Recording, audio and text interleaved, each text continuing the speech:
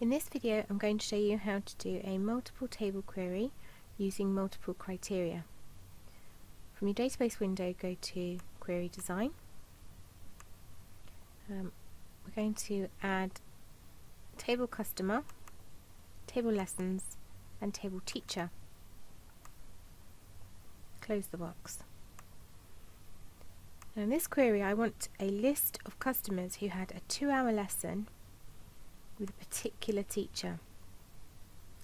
So I will need to know the customer's first name, last name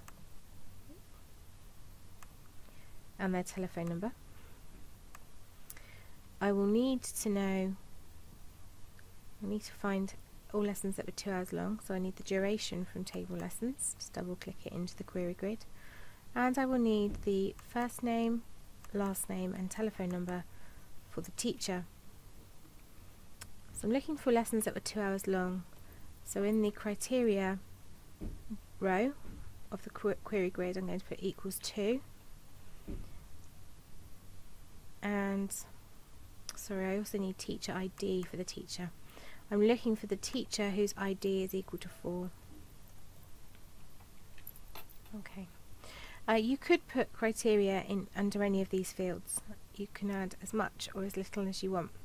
I've done a very simple multiple criteria query in this example.